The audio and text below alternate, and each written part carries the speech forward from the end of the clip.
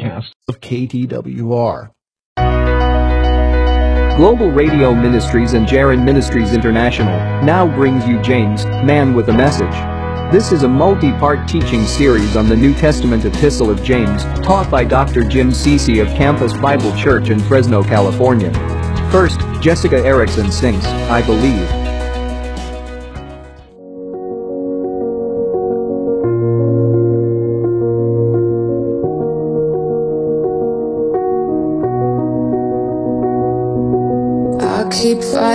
Voices in my mind that say I'm not enough.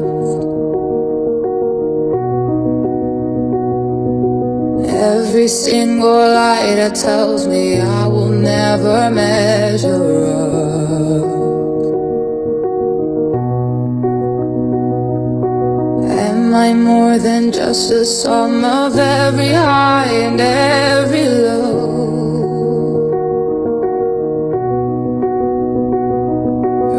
Remind me once again just who I am because I need to know.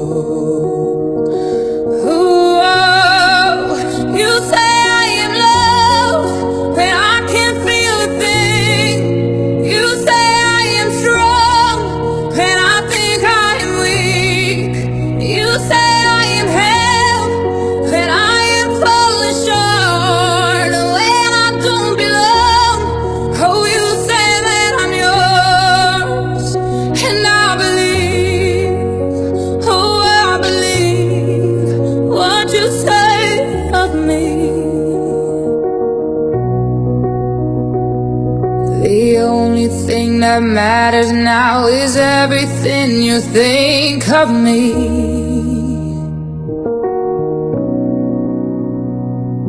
In you I find my worth, in you I find my identity.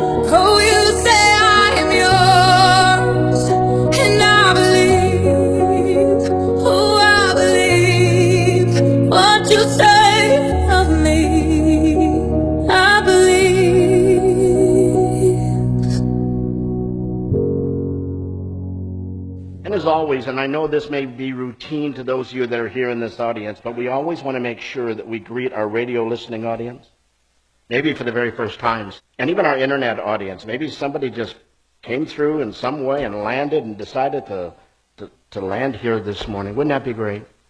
Or maybe even six, seven, eight, ten years from now, somebody's listening to this podcast. We want to welcome you as well. We're just so grateful to God to be a part of the family of God all over the world. I know there are people in Romania listening to us as well. Of course, it's their evening service, and some of them are doing them in small groups as well. And so we're just blessed to have a local audience, and I would pray that God would just extend our global audience as well. Not because we're anybody, we're not. We just are a people who love the Lord Jesus Christ and love the Word of God. Amen? And with that in mind, will you turn, please, to the book of James?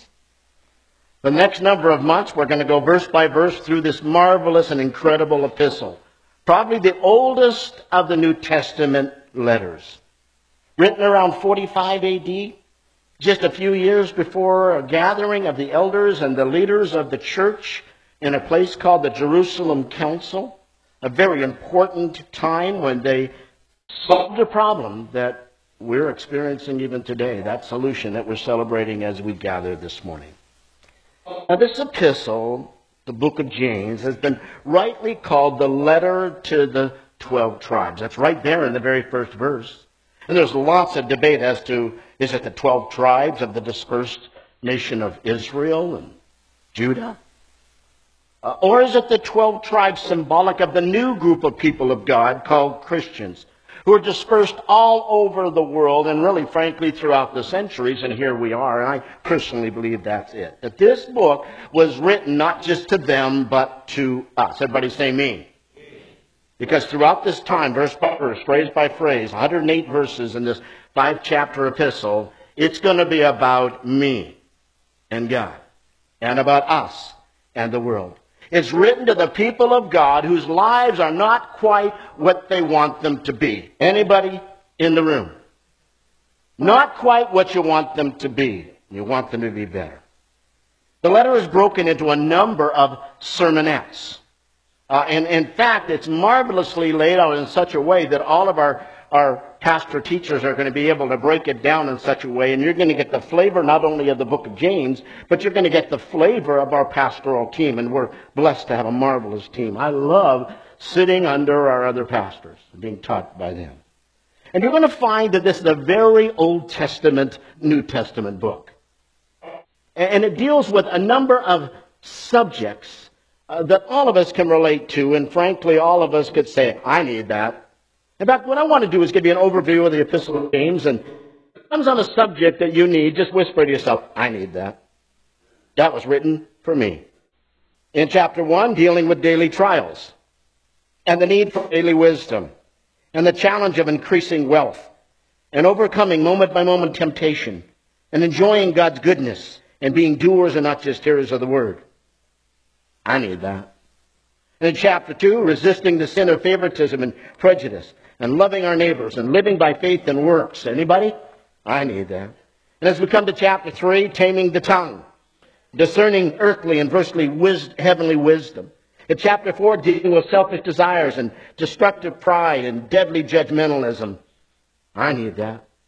And in chapter 5, dealing with daily greed and, life, and living a life of perseverance and, and the healing power of prayer. And of course, restoring fellow sinners fellowship with God. Everybody say, I need that. Who among us doesn't? And God's Spirit is going to use this 108 verse, 5 chapter letter, an epistle. You know what an epistle is. It's a letter to you and to me. And the bottom line is this it's going to challenge us as faithful followers to not just talk the talk, but to walk the walk. And that's why the theme of the letter is faith that works. Not just a faith that talks about it, a faith that does something about it. No wonder scholars refer to it as the New Testament book of wisdom. I like to call Proverbs of the New Testament. I'm presently writing a book on the book of Proverbs that should be out probably by the end of this next this year. And since this book contains a, a remarkable parallel to Jesus' Sermon on the Mount, you're going to find that James quotes his brother more than anybody else in all of the New Testament. And in particular, Matthews 5, 6, and 7. So we can title it Reflections on the Sermon on the Mount. Kingdom living in the here and now especially my now. So with all that in mind, I want to get started with our exposition. And there's no way I can cover all 108 verses. That's going to take us many months, as you well imagine, here at Campus Bible Church. In fact, I'll barely get through verse 1 today. Let's read verse 1 together. Everybody join me, please. Read it from the New American Standard Version. That's the version we'll be preaching from.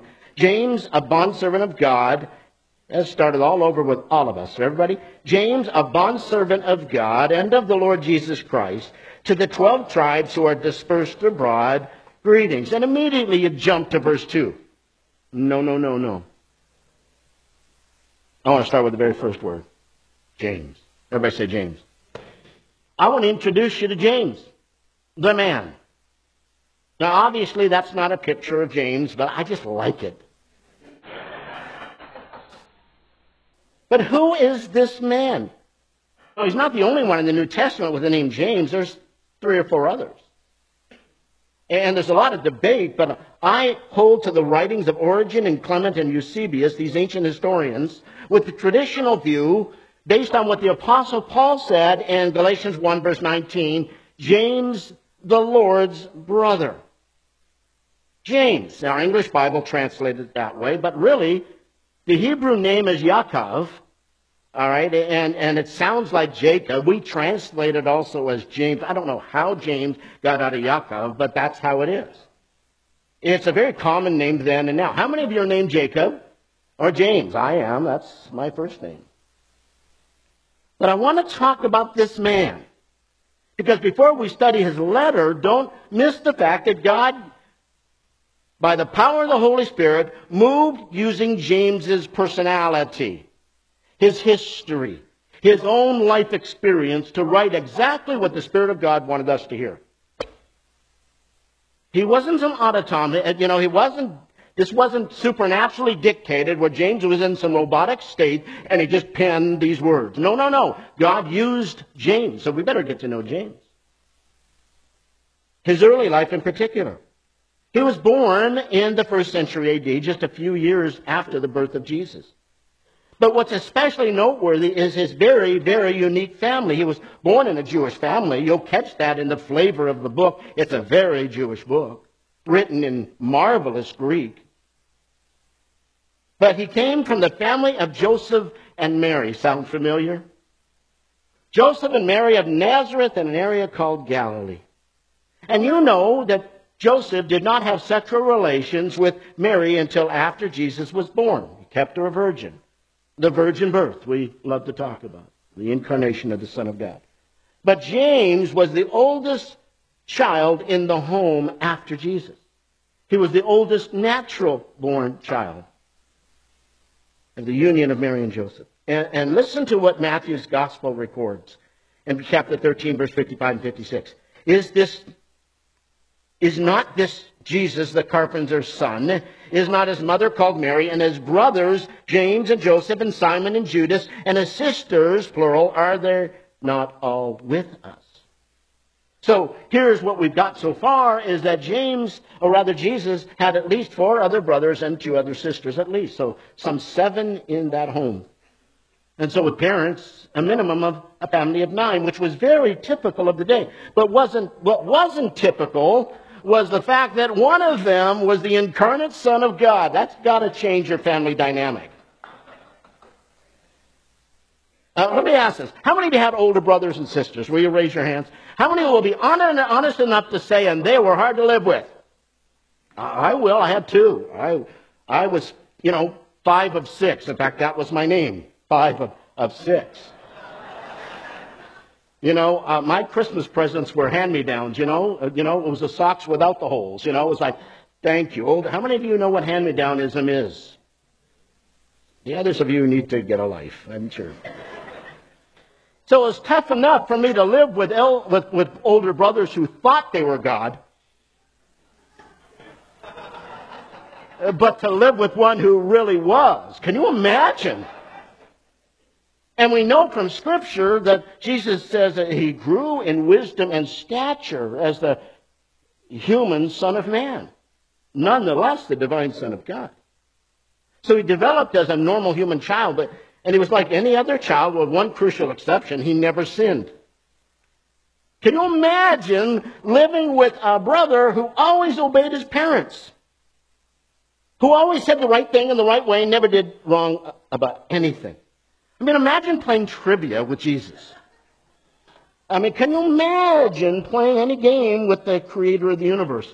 I mean, how good at science and math and history and, and geography. Oh, yeah, yeah, I created that. And I remember when I created Greenland. You know, that'd be really tough. And do you, what do you think James's response was? Well, he was a very human man living in a very human home with a very human brother who was also very divine. And the Bible tells us his surprising reaction. John chapter 7, verse 5 For not even his brothers were believing in him. Wow. Matthew chapter 13, verse 57. And they, talking about the people of Nazareth now, took offense at him. But Jesus said to them, A prophet is not without honor except in his hometown and in his own household. Wow. So James, like the rest of the townspeople, had this concept that any suggestion that Jesus was the promised Messiah and the Savior of the world was wrong.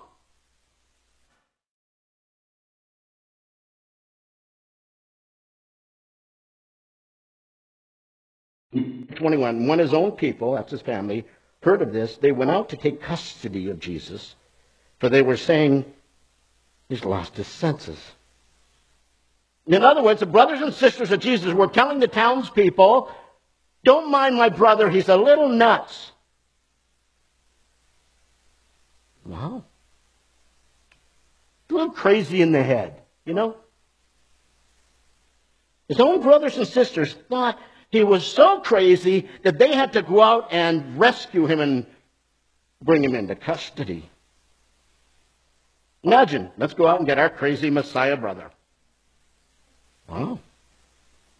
And by the way, this rejection from Jesus' own brothers and sisters may explain why, even though Jesus' brothers and sisters were alive, when Jesus is dying on the cross, he gives his mother to the Apostle John. Going against Jewish custom, she should have gone to James. We think Joseph was dead at the time. Or at least the sisters, the other brothers. John, not a family member, but a disciple. Because the rest of them didn't believe he was the Messiah. Oh, that must have pained Mary to not only see how the Romans and her fellow countrymen rejected her son, but how her own children rejected him. The children who had lived in the home with Jesus, who had witnessed his sinless life, experienced his perfect love and kindness, heard him teach, had seen him heal, yet they rejected him. Now, the good news is they didn't stay in that unbelief. In Acts 1.14, guess what we find in the upper room with the apostles? Jesus' brothers and sisters on the day of Pentecost. Acts 1.14. These all, with one mind, were continually devoting themselves to prayer, along with the women, and Mary, the mother of Jesus, and with his brothers. Now praying believers experienced the miracle of Pentecost. Something had happened between the time of Jesus' death, when none of them were believers, and the time of the ascension and the Mount of Olives,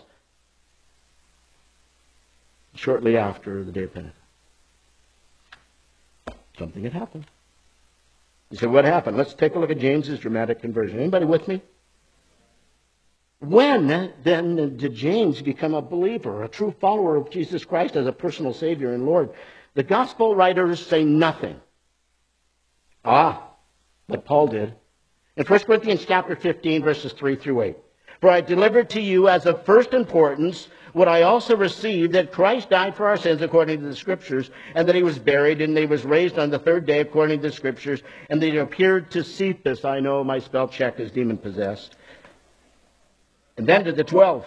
After that, he appeared to more than 500 brethren at one time, most of whom remain until now, but some have fallen asleep. Then he appeared to James.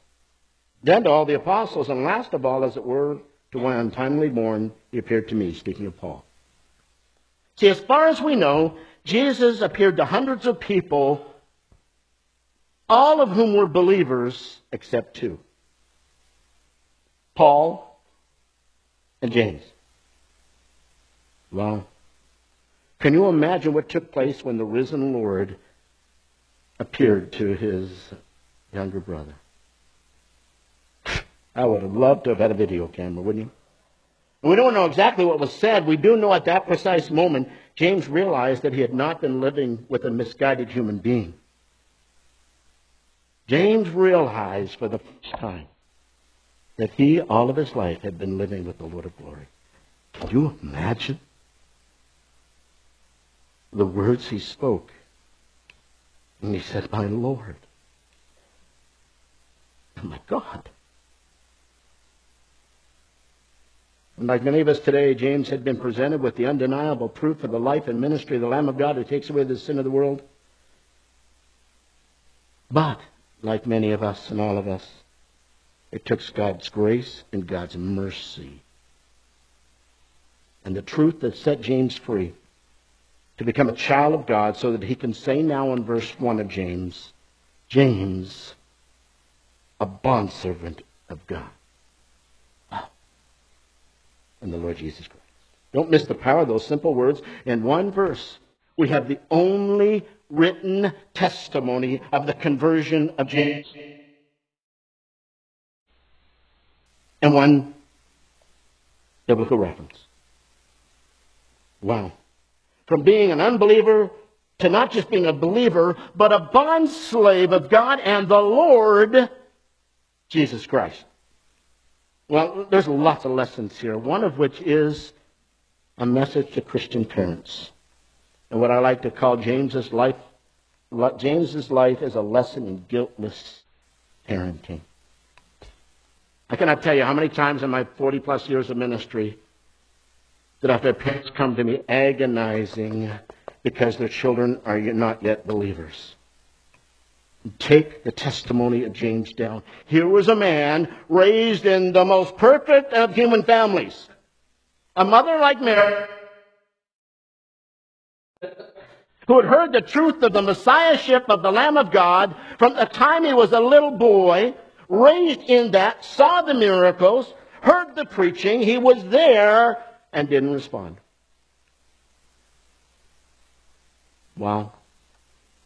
James's conversion is a reminder that no one raised in a Christian home or not can come to Christ unless the Father draws him. Jesus himself said in John 6:44, read it with me everybody, no one can come to me unless the Father who sent me draws him, and I will raise him up on the last day. All you do parents is provide the right atmosphere that doesn't distract from the gospel. And with the message of hope that presents the gospel, and with that desire to pursue righteousness, and you pray that God will soften your stubborn children's hearts and create in them a true seeking spirit and stop wallowing in your guilt.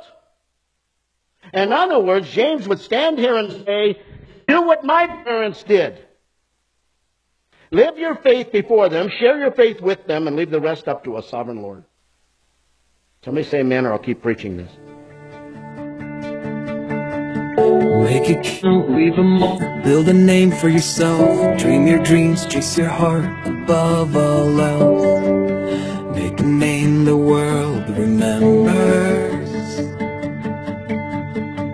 But all an empty world can sell is empty dreams. I got lost in the lie that it was up to me to make a name the world remembers. But Jesus is the only name to remember. And I, I don't want to leave a legacy. I don't care if they remember me. Only Jesus. And I have only got one life to live. I'll let every second point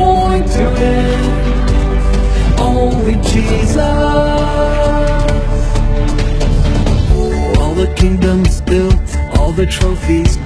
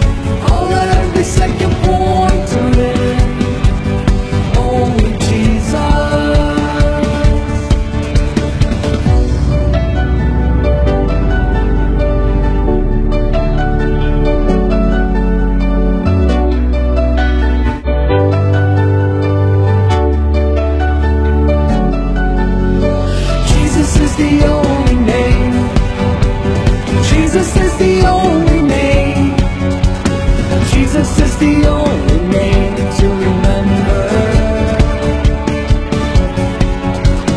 Jesus is the only name. Jesus is the only name.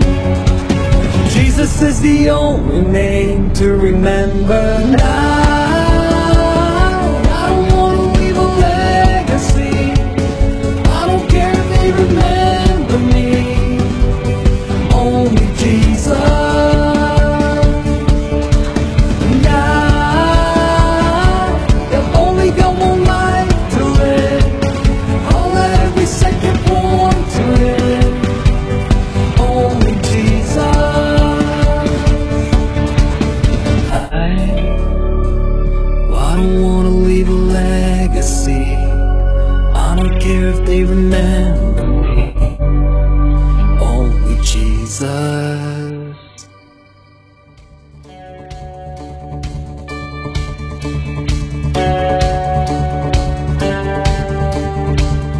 Here is a review of what we heard. Introduction to the Book of James.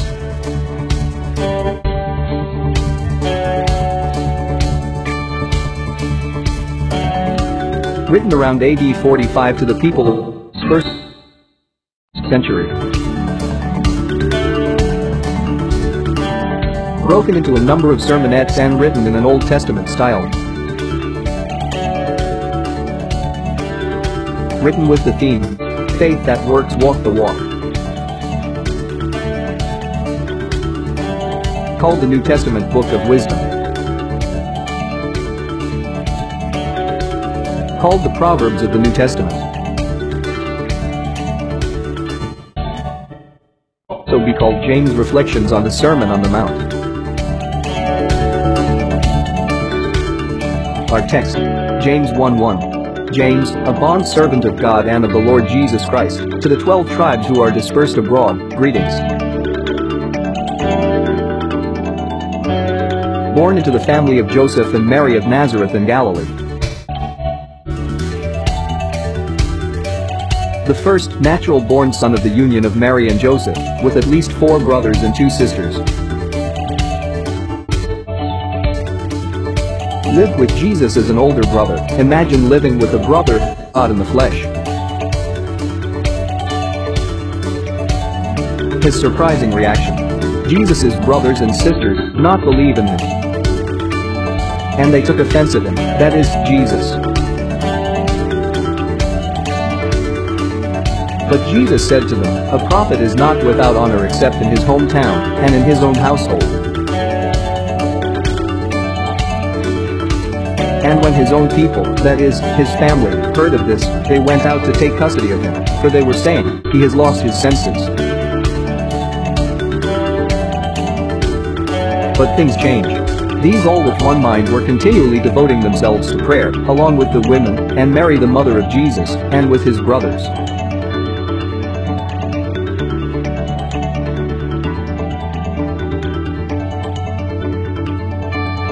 Please tune in next time for more of the introduction to the Epistle of James, Man with a Message, taught by Dr. Jim Cecy. This has been a presentation of Global Radio Ministries and Jaron Ministries International.